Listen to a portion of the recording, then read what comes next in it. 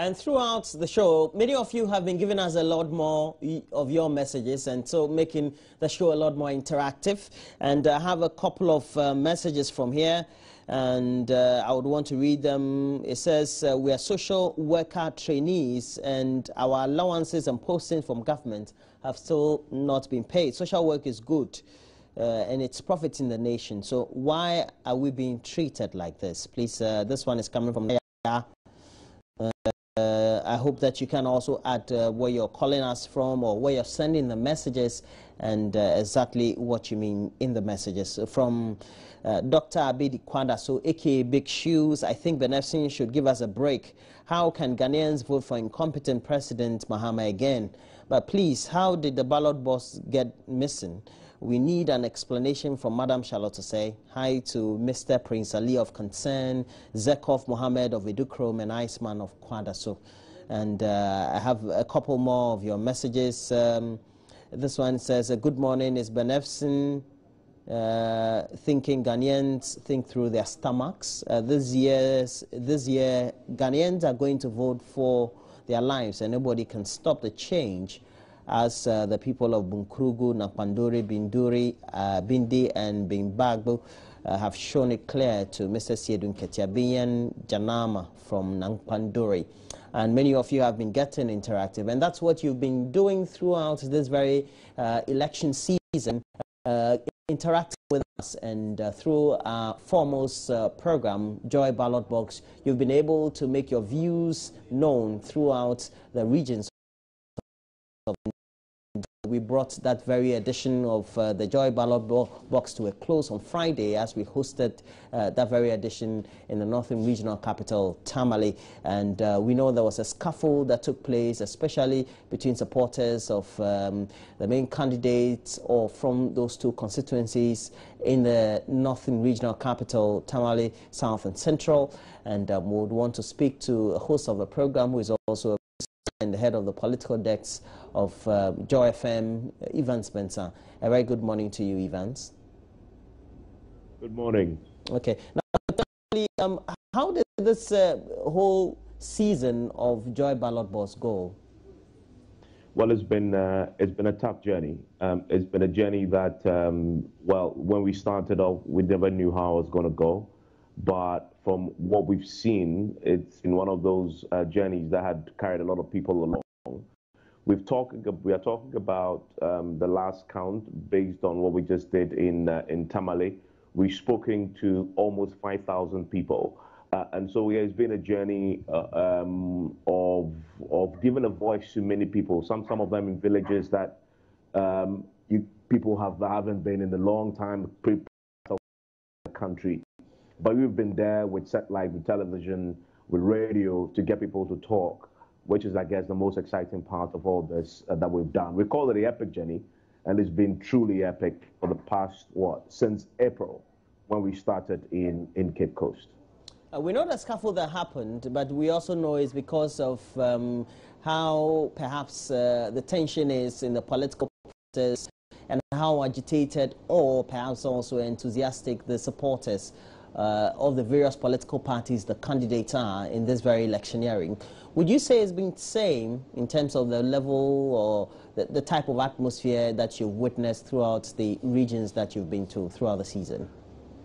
What I can say is that every region had its own dynamic. Um, so I guess the regions that had the most passionate group of voters, you I would say, will be the Ashanti region, um, the northern region tops it all because of what happened with fire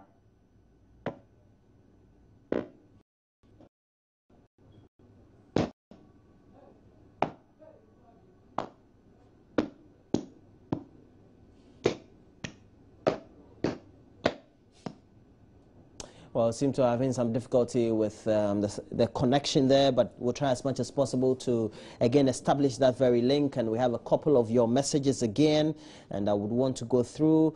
Uh, it says um, uh, we have a couple of um, some messages, and this one says, uh, Good morning. I belong to any political party, but I can say the NDC is having evidence-based project that is convincing me uh, to vote them once again to continue. The future may be bright. Terias uh, Silas from Techiman.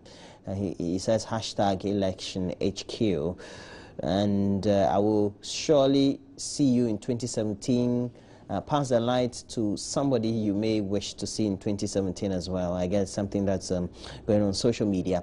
Good morning, uh, Roland and Mamavi. I think Ben Ephson is doing a great job and his survey shall come to reality. And that's from Sunday in Bole. Okay, you are wishing a happy belated birthday to Collins Yamo of Pandai Senior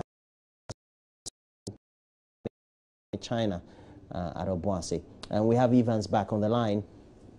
And uh, Evans, particularly, uh, I was asking you whether the atmosphere uh, was the same throughout the regions, and, and you were saying that, um, of course, the northern region topped it all.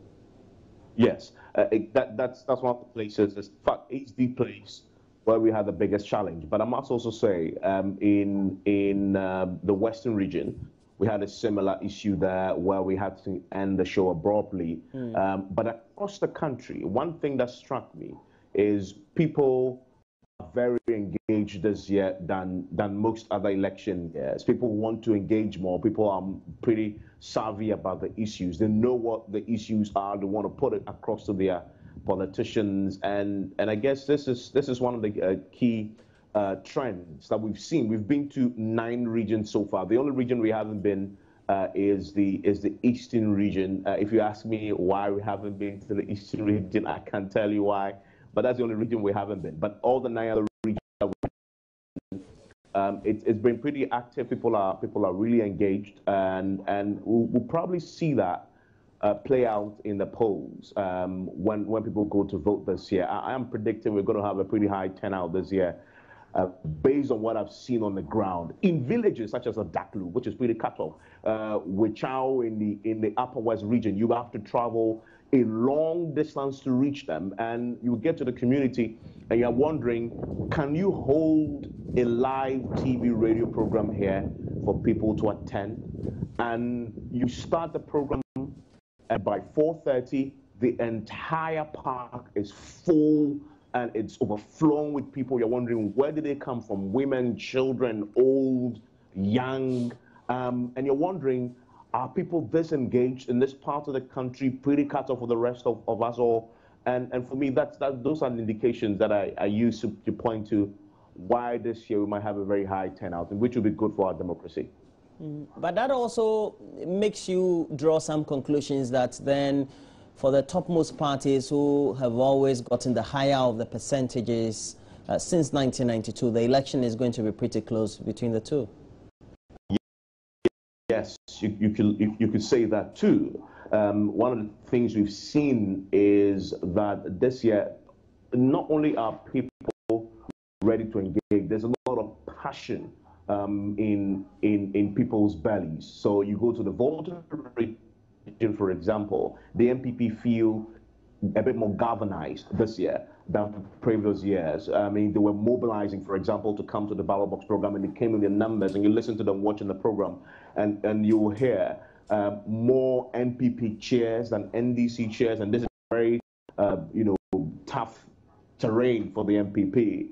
Um, you go to Kintampo, it's similar. You go to the northern region, we've been to Upper East, Upper West, northern region. All these three regions of the north are strongholds of the of the uh, of the NDC. Um, but again, you see people very very engaged, and you, I, as you say, we can expect close. All our elections have been closed, really, especially when when it's it's the issues are are, are being driven by the media and civil society.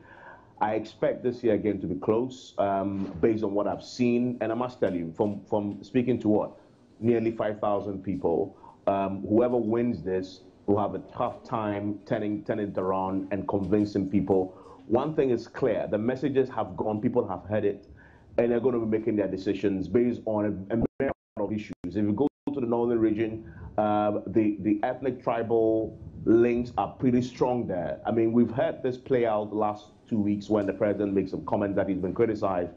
But you understand why. Dr. Bawumia also came under some criticism a few months ago when he was in the north, make tribal comments. But having been there in the three regions, you understand why the politicians will be using the tribal language there because people still largely vote on these lines. And we saw that play in the ballot box um, over, the, over the weekend and in the Upper West, Upper East as well. Uh, and so, yes, I mean, this is going to be pretty interesting by the time that the, the, the votes are counted. Mm, but for the incident on Friday that happened, um, what really uh, do you think were the similar tones? Well, it's um, it's a, the feud that has been raging for a while now between the NDC and the NPP. It's just the, the political temperature that has gone up uh, to a level where you light a fuse and then it blows up into a in, into a huge thing. Um, I must say that in this is Tamale South. A Tamale South is a stronghold of the NDC been won. I mean, incumbent there is Haruna Idris, a very formidable political force there. Um, but the NPP have been attempting to make some inroads. Um, in other words, they've been attempting to try and uh, and and and take that particular and take that particular seat um, from from the from the from the um, incumbent, uh, you know, uh, uh, parliamentary candidate there, and we saw it play out very strongly. That is why the, the, the, the confusion happened. In fact, I must tell you what happened. It's pretty simple though, because when we started this, the program, it was pretty calm. In fact, I was impressed with the with the unity that uh, both parties showed um, in, in, coming and sitting down and listening and then and then shaking hands and and and the atmosphere was a party atmosphere. NDC were, were sitting together, they were, you know, poking fun at each other. But then when, um, after the NPP candidate for Tamale South has spoken, and um, Haruna Iddrisu got up to speak, there was a small group of NPP supporters who were close to the to the stage where they were seating, and they started causing a commotion. In fact, they were shouting and yelling and, and waving NPP uh, paraphernalia, which prevented um, Haruna Iddrisu from speaking. Now, that, as you can imagine, infuriated the NDC supporters there, who then said, well, the NDC supporters rather, who then thought they could also retaliate. So I was in the crowd, and people were then moving from, from the crowd, and the NDC supporters in their numbers, and they were there in their numbers far more than the NPP, moved to the NPP side uh, to try and stop them. And of course, that's what uh, sparked the confusion. People were throwing blows, um, the, the, police had a tough time trying to control the crowd. In fact, one point, the MCE for Tamale had to uh, call in the military, um, of course, but I told them we had to end the program, and they didn't arrive before the program had to end because, of course, um, it was getting any other um, you know, confusion to happen where people will, will probably uh, be injured in the process. That is what happened. At one point, they the original chairman of the NDC, uh, who wasn't at the program though, but had been watching it on TV, drove there with his with his with his uh, with his supporters. They rushed onto the stage, and this was all live. Um,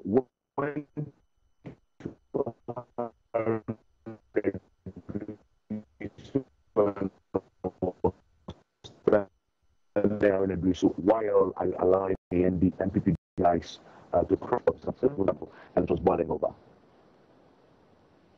Interesting as it is, but the, there's always one thing that we've witnessed this very electioneering, and we know that there's always also going to be a, pre a precedent set whether a party, let's say the NDC, um, is going to win for a third time running, or we're going to have um, a candidate who is the incumbent going to contest on the ticket of a party uh, uh, uh, that will be in power for three terms, so to speak. So no matter how we look at it, there'll be some um, precedent that will be set.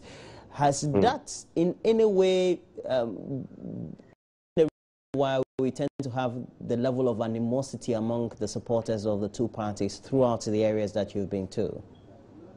I must say, um, looking at what I've seen across the country, it's it's it's just um, well, um, there's one word that that that I carry across the nations, which is anger. There's a lot of anger in the system. I, I see that and I feel that. There's a lot of um, uh, frustration in the system. Uh, people are people, th- those who are who feel that the system haven't treated them well. In other words, they're not happy with the status quo, have become very, very passionate about their personal circumstances and, and, and why they want to change it. And for most people, it's become almost a life and death um, uh, you know, situation for them. And that is what is influencing influencing what I'm what I'm seeing because when you, we go around from Tuesday to Thursday talking to people in the marketplaces, in the villages, in the schools, etc. When people speak to you, they speak with passion, and you see that when somebody else comes along who tries to challenge what they know they're feeling to tell them something else, that sort of sparks a flame. I'll give you an example in um, in Kintampo when we did the program at Jema, mm. uh, one of those one of those uh, villages. The MC asked the question about jobs, um, which of course has been the number one issue across the country for us. And he started by saying, "It is not true that people are unemployed in in Kintampo." And immediately he said that, the crowd exploded. And when it exploded, in fact, we had hundreds of people charging to the stage, literally wanting to climb the stage, hold them up, and lynch him. He had to take the police to stop them. Um, that is that is what I'm that is what I'm pointing at.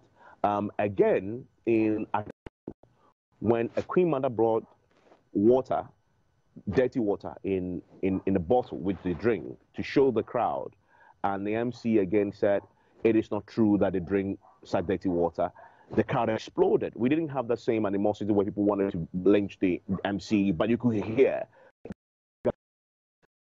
that for me is one of the biggest things I'm taking um, um, from, from, from all the trips that we've been on. There's this anger in the system, um, and I, am really worried what might happen post elections if people's expectations are not met in terms of who they believe should win the should win the election. We've seen what what has happened in the US, where there's a spontaneous outbreak of protest and violence and vandalism because they expected one person to win and that didn't happen. That, for me, having traveled across the country is, is my fear. What might happen post election because people are very, very angry at the system.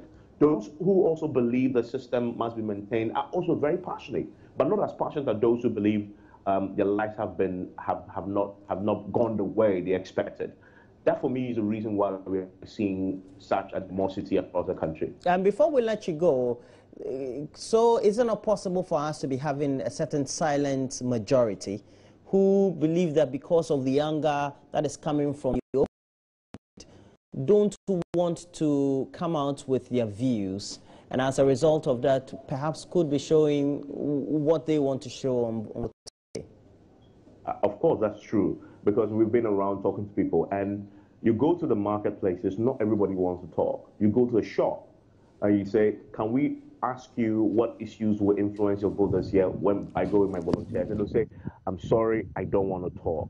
And these are people who, when you dig a bit more, ask him why, the person is afraid that he might be tagged politically. And I must say, those are the people who actually will decide the elections because for those who would speak to you, they've already made up their minds for this group of people, you cannot really tap into what they're thinking, but they vote. Um, and those are the people who will switch, who, who, decide, who decide the poses here. Uh, those you call the silent majority, minority, yes, they are there. I mean, if you look at our elections since what, 1992, um, the, the NPP NDC always have this core group of 5 million, 5 million uh, voters um, and it takes a few thousands more to decide between them. It's always been the case, and this is going to be the case as well. That's silent minority you talk of. Those are the people who will be deciding elections, but those are the people you, you won't get to hear in the conversations on social media, on radio, even in the ballot box. We show up, they watch on TV, but again, they won't come to the ballot boxes and write something, put it in, or they won't even speak to a volunteer, but they know they're going to make a decision. And for me, that's those are the people that. Uh, will be deciding elections uh, this year. Um, and, and those are the people who, um, for them, for many reasons that I have found, one mainly being the fear of being politically uh, tagged or, or, being victimized, uh, why they stay off, but they are active ones polls open on on this, on December 7th. But of course, we also found people who say this year they won't vote because they feel disenchanted, disillusioned in their political elites that we have. Well, thank you very much, Evans Mensah. He's the head of the political desk and also the host and one of the producers of the Joy Ballot Box. It took place and ended this very Friday for the electioneering or the election season. Uh, please always know that this is your election headquarters. You can count on us for uh, an updated um, news coverage of what the election or pre-election activities will be on election day and post-election day. We're also here to bring you some great comprehensive coverage. As always, get interactive on Facebook. We are joining you on TV. It's uh, our page on Facebook where we're live currently. We've linked that very page to our Twitter handle at Join Us on TV, and then you can also catch us through our interactive number on WhatsApp 0560 800,000.